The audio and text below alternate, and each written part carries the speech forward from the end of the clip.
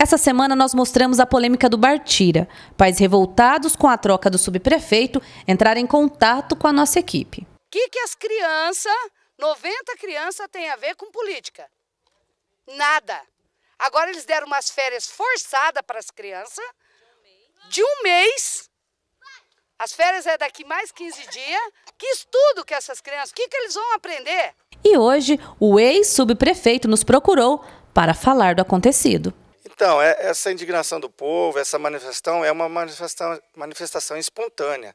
É, o povo está revoltado, porque a pessoa que, que substituiu, ela já foi vice-prefeita da cidade, é, subprefeita do Bartira, e ela não teve uma, uma boa atuação como vice-prefeita, então o povo não concorda dela voltar na, na, na subprefeitura, entendeu? Ela deixou a desejar com a subprefeitura. Mas você que articulou essa população para falar bem de você, para falar, pedir o seu retorno ou não? Não, não, não tem nada a ver comigo. Eu simplesmente recebi o recado de exoneração do cargo, certo? Eu atendi numa boa, sem problema nenhum. É a população que se revoltou contra ela. Existe um outro fator sobre algumas denúncias que estão sendo feitas sobre você, da utilização do prédio onde estava cedido para que as crianças estivessem estudando, já que a, a escola sofreu com as chuvas de janeiro. É, realmente, houve benfeitorias da prefeitura ou não? Não, a, a, prefeitura não fez benfeitoria nenhuma na casa.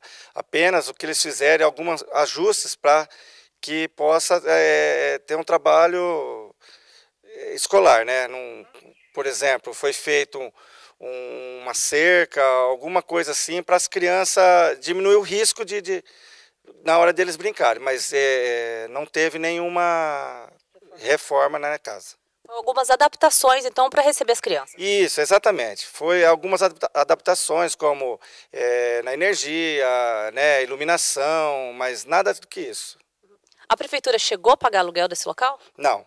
É, o combinado era só fazer a melhoria do carregador, né? Lógico que porque descia ônibus, mas e pagar energia só. Mas não, não, a casa foi cedida pela família Polvani gratuitamente para ajudar a comunidade.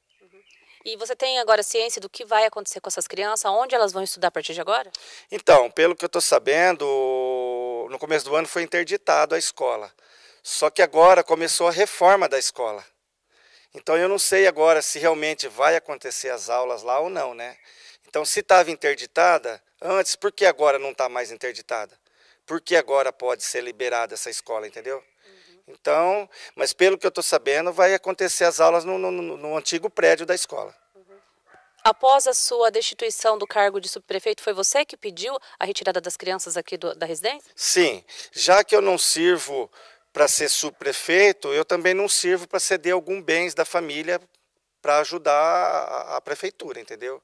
Você não acha que com isso quem sofre são as crianças? Não, eu tenho consciência disso. Mas é, é o seguinte, o que, que eu posso fazer? O governo me jogou sujo comigo, a prefeitura jogou muito sujo comigo, entendeu?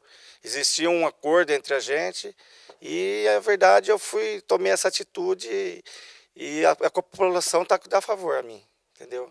Que acho que deveria tirar a casa mesmo.